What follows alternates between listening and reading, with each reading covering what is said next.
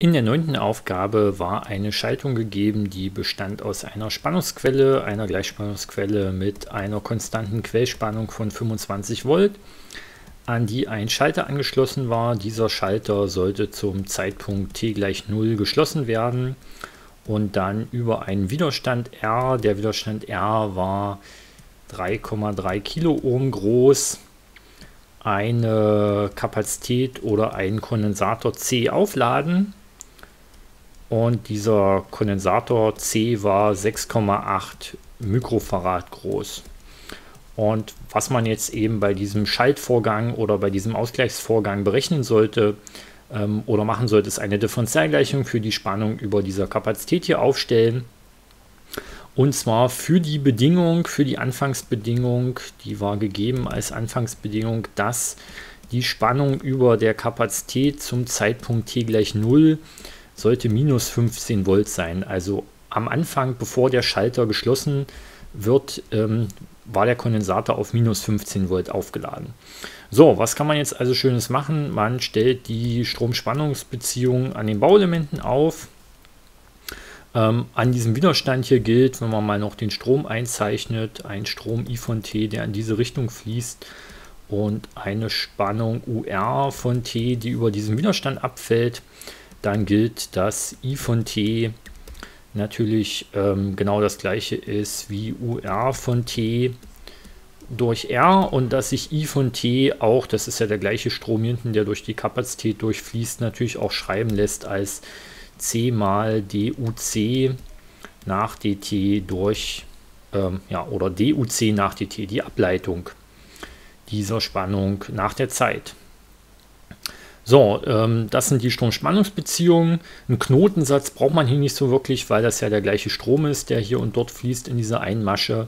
Man bräuchte aber noch einen Maschensatz und der Maschensatz ähm, sagt uns, dass die Quellspannung, zumindest dann, wenn der Schalter geschlossen ist, genauso groß sein muss wie UR von T plus UC von T. Also von hier oben nach hier unten auf diesem Weg muss natürlich genau die gleiche Spannung sich ergeben wie von oben nach unten auf dem Weg hier hinten. So, diesen Maschensatz kann man jetzt mal nach UR von T umstellen. Dann steht da UQ minus UC von T und dieses UR von T hier oben einsetzen.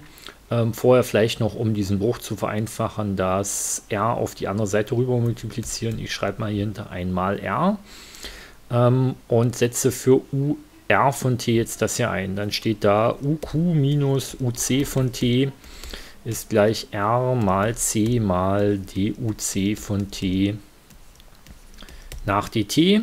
Und dann kann man eben noch ähm, ja, das hier auf die andere Seite rüber holen, addieren. Das mache ich jetzt mal einfach gleich so in diesem Schritt. Und dann haben wir auch schon unsere Differentialgleichung erste Ordnung ähm, weil da die erste Ableitung der Funktion und die Funktion selbst drin auftaucht. Dieses Inmogen, weil hier drüben gibt es sozusagen eine, in diesem Fall linke Seite, eigentlich eine rechte Seite mit dem UQ, von, äh, UQ konstant.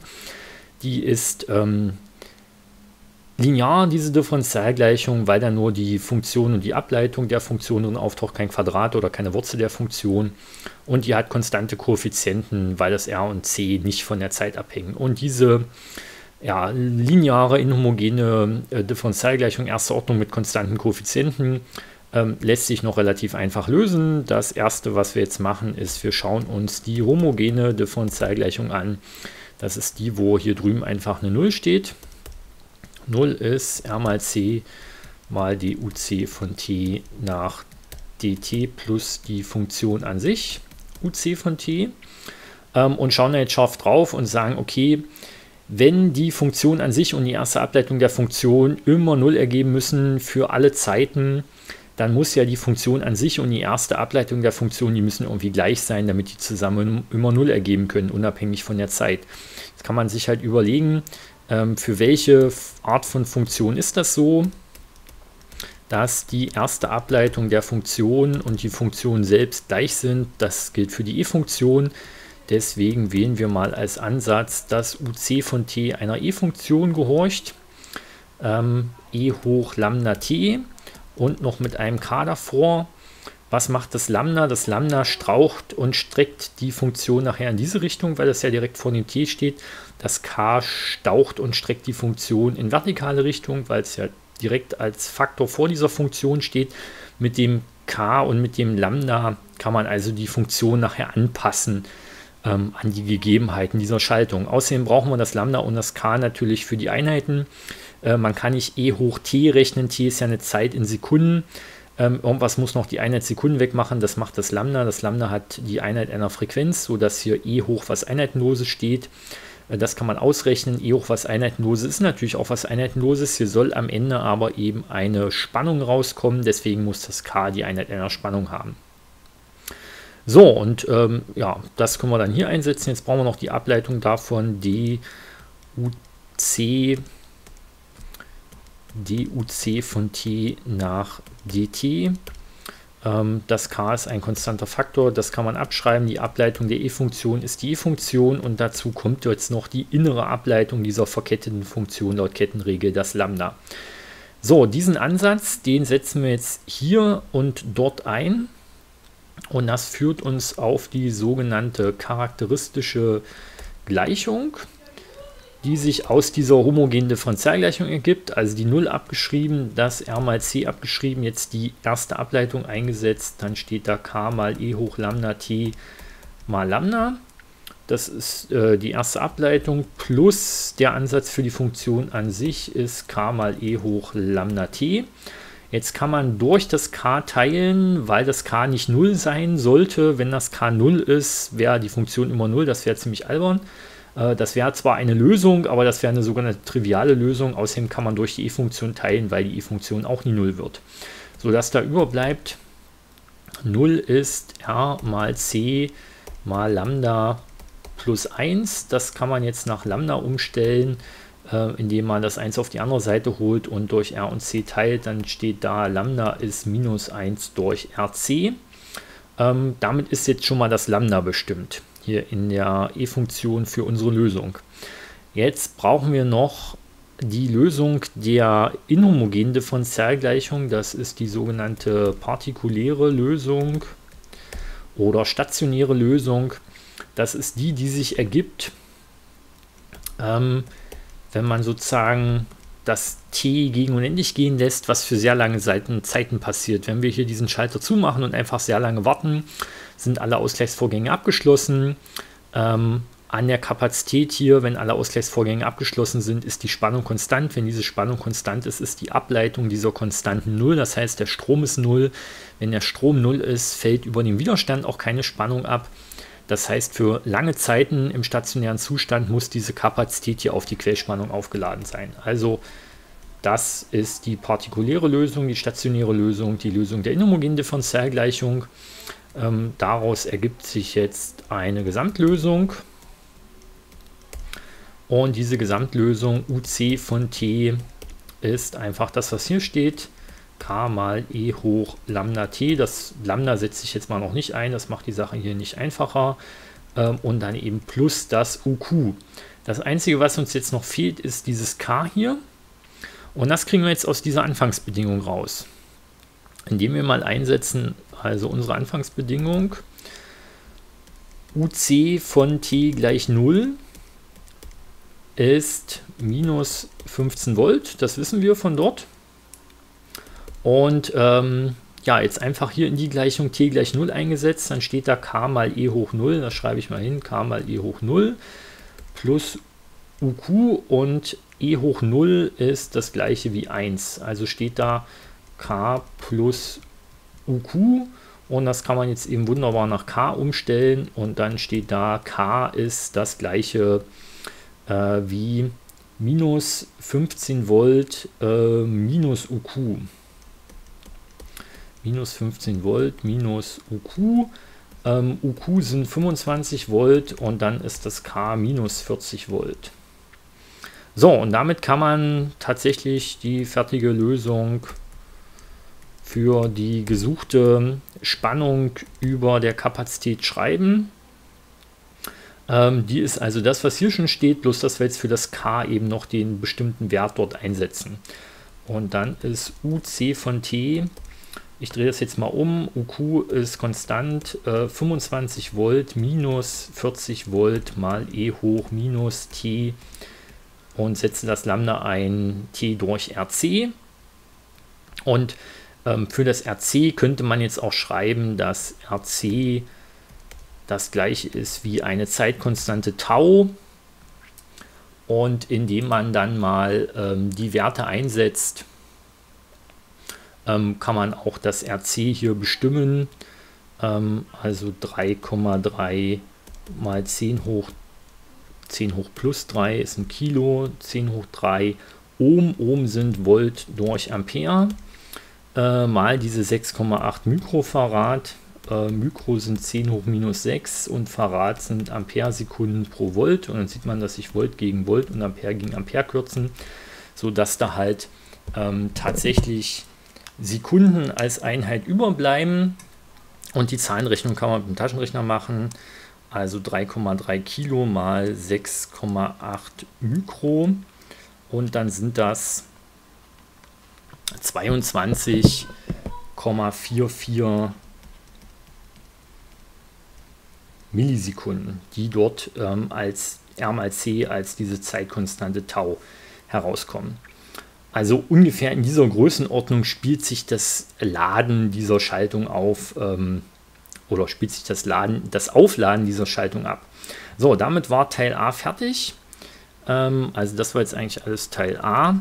In Teil B dieser Aufgabe ging es jetzt darum, ähm, noch zu sagen, zu welchem Zeitpunkt, also wann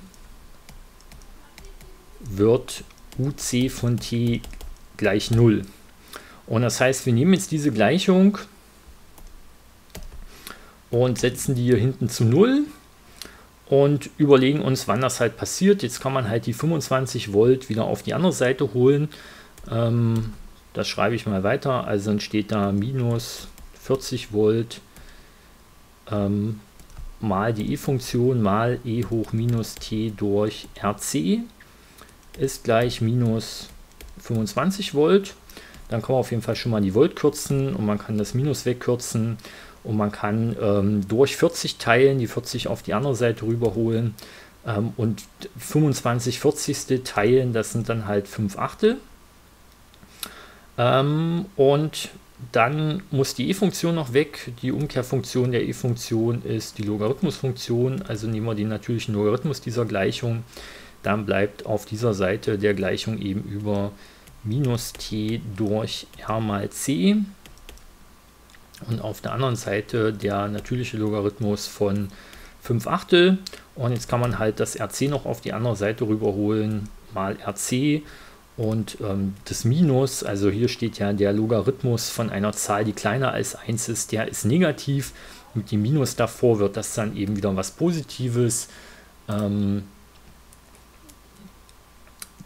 die Zeitkonstante hier oben, die haben wir gerade schon ausgerechnet, das kann man jetzt einfach einsetzen und dann kommt man darauf, dass das hier 10,55 Millisekunden sind. Also nach 10,55 Millisekunden ist der Kondensator hier so weit aufgeladen, dass der von seiner negativen Anfangsspannung ähm, die Spannung 0 erreicht hat. Und wenn man jetzt zum Beispiel diesen negativ aufgeladenen Kondensator sozusagen genau neutral laden möchte, müsste man den Schalter so lange zulassen, dann hat der Schalter, äh, dann hat der Kondensator genau 0 Volt und genau nach diesen 10,55 Millisekunden den Schalter aufmachen, dann ist der Kondensator genau entladen, genau leer. Wenn man den Schalter zulässt und lange wartet, dann wird der Kondensator irgendwann auf die 25 Volt von der Quelle aufgeladen. So, damit war und ist diese Aufgabe äh, eigentlich gelöst mit diesem Lösungsweg hier. Ähm, so richtig wahnsinnig typische Fehler gab es dabei nicht. Einige Leute haben komischerweise mit 12 Volt gerechnet, obwohl hier 25 Volt gegeben waren. Eventuell, wenn man die 12 Volt mal irgendwie aus einer anderen Aufgabe äh, verinnerlicht oder auswendig gelernt hat, ähm, gab natürlich so einige Probleme beim Umstellen und Aufstellen dieser Differentialgleichungen, auch beim Lösen. Ähm, es gab auch ähm, einige, die versucht haben, hier sowas in der Art wie mit einem Spannungsteiler zu rechnen. Ich versuche das mal hinzuschreiben. Also UC ist UQ mal C durch R plus C.